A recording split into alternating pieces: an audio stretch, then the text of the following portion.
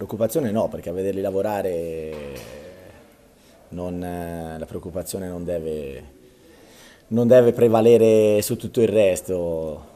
Bisogna arrivarci nel modo giusto, senza troppa neanche ansia, senza troppa frenesia, con la consapevolezza che, che la squadra può far bene, ma che si deve cementare, deve essere coesa, tutti insieme devono avere la voglia di ottenere, di fare una grande prestazione di ottenere la gratificazione del lavoro settimanale che è vincere la partita.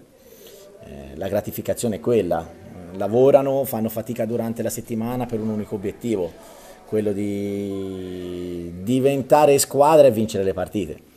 Quello è un po' il credo, il verbo che stiamo cercando di trasmettere ai ragazzi dall'inizio, dall'inizio della stagione, in ogni allenamento.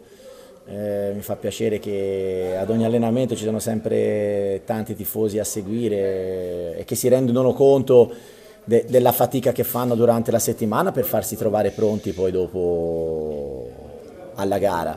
Eh, siamo siamo lì, siamo lì a poche ore da, dalla prima di campionato, avremo la possibilità di farlo davanti al nostro pubblico.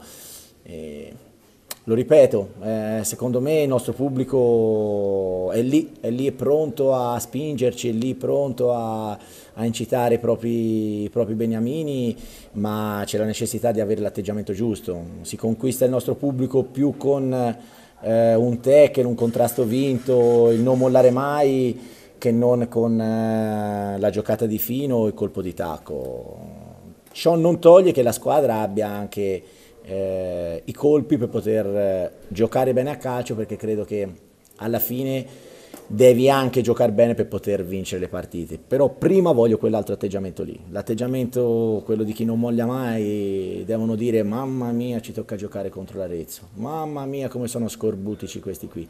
Ecco, allora comincia a essere, comincia a essere una squadrettina bellina. Prima di tutto ha un ottimo allenatore che viene da delle esperienze importanti nel settore giovane dello Spezia e hanno fatto molto bene al di là del risultato di 3-0 a Frosinone.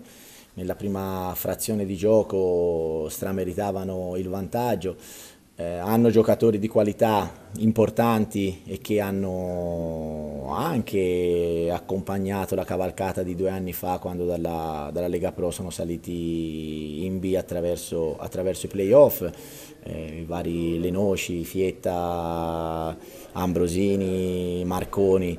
Eh, a qui ci aggiungi giocatori esperti, importanti, vedi Briganti, Nossa, eh, che di Quinzio che l'anno scorso ha stravinto il campionato con la SPAL e già te ne ho detti 7-8, non so se sarà a disposizione Chienellato che ha avuto qualche problemino in settimana e non so se sarà della, della gara, però hanno delle alternative con dei giovani molto molto interessanti che ci dovranno far tenere le antenne dritte per tutto l'arco della gara.